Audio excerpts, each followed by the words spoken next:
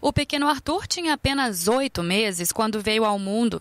Foi o leite materno que a mãe produzia de sobra que o ajudou a crescer e a ficar mais forte. E como leite nunca é demais, Júlia resolveu doar também para outros bebês prematuros. Tem outras crianças que a mãe não pode amamentar, né? então é bom quando as outras mães que amamentam venham doar. Porque o leite materno é o essencial para os bebês. Este instituto no Rio de Janeiro registrou queda no número de doações nos últimos dois meses.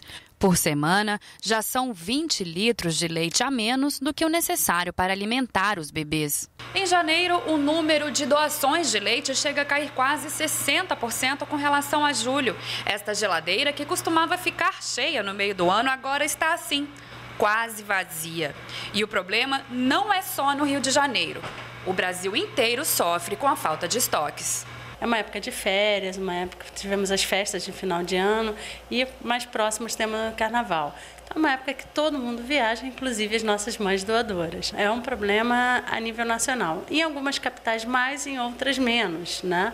Mas é um problema de nível nacional. Vanice é mãe e doadora há pouco tempo, mas já sabe descrever a alegria de ajudar outros bebês. São crianças prematuras, são crianças que têm uma, uma necessidade de estar recebendo esse leite e não custa nada, né? Não custa nada pra gente. É, é uma coisa que faz muito bem. Mas que estão em casa que podem fazer essa doação. Elas ligam para o banco de leite e a gente vai até a casa delas buscar. Então, a gente entende, ah, eu estou com um bebê pequeno, eu vou ter que ir até o banco de leite. Não. Você só tem que ligar, fazer a sua ficha de inscrição, seu cadastro, e a gente tem uma equipe que vai na sua casa buscar.